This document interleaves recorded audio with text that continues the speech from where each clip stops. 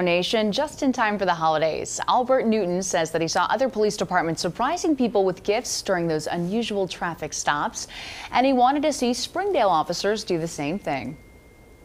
when they stop somebody or they have a disturbance or something like that they could use maybe to calm them down or just make people happy. Wish them a Merry Christmas too, yes. Once a year I get sentimental and want to uh, do things, and this is one of my projects this year.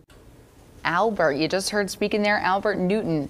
Well, each donation includes a gift certificate from Harps for a hen and a box of chocolates. And the department says that the officers will be handing out those gift certificates tomorrow into the weekend as well so that people can have them before Christmas. Good for Albert. Well, happening now, a local park.